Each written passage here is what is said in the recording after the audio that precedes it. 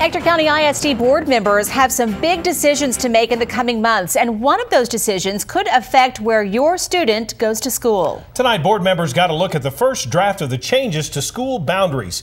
CBS 7's Tatum Guinn was at the board meeting tonight. She joined us now. Tatum, how likely are these changes? Well, no matter what, change is on the way. Tonight, we know that ECISD will have new boundary lines for elementary, middle school, and high schools at the start of next school year.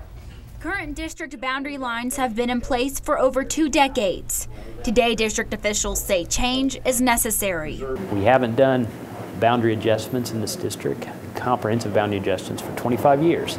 So this is a, quite a change for us. Starting with high school, these are the current boundary lines. The first proposal is the most dramatic, moving the Odessa High School lines farther east, all the way to JBS Parkway. The second proposal is similar to the current lines. The biggest change is moving Odessa High's boundary further south. The third draft is the most similar to the current boundaries. Board members say the goal for all boundary changes is to preserve neighborhood schools and diversity. We looked at the seven diversity factors, the three uh, race-based factors and four non-race-based factors. We looked at creating neighborhood zones and, and eliminating these large, large uh, bus zones that we have. Moving to the middle school boundary drafts. This is what the current map looks like. The first draft splits the Ector Junior High boundary in half, sending a large portion to Crockett Junior High. This draft will also send students on the north side of town who currently attend Bonham to Hood Junior High. The second draft would send half of Ector Junior High students to Bowie.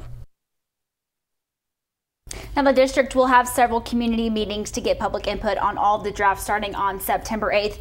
To get a look at each map for yourself, we have posted them on our website, cbs7.com.